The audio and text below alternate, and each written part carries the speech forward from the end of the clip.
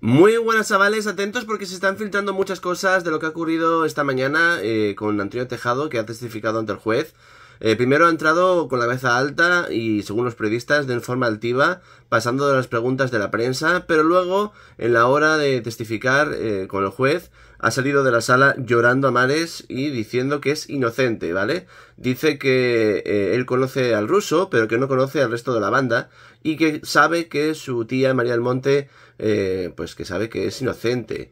Bueno, María del Monte siempre ha dicho que cree en la justicia y que cree en el derecho de, la presunción de inocencia, pero no ha dicho más. Eh, lo que sí es verdad es que Antonio Tejado está destrozado anímicamente y considera que se le está haciendo una tropelía en sus derechos. Yo no sé, yo hay cosas aquí que no encajan, que sea un juez quien mide si hay pruebas o no contra él, él sigue diciendo que no hay nada en contra suyo, que no hay ninguna sola prueba y que el tiempo lo dejará todo claro. Em, lo que sí es cierto que está em, como mm, viendo todo esto como una pesadilla y, bueno, si estuviese tan claro todo, no estaría llorando como está llorando, creo yo, no sé. Hay algo ahí que no, no me cuadra y que sea la justicia quien opine. Comentad, opinad, suscribiros, beso enorme y chao, chao.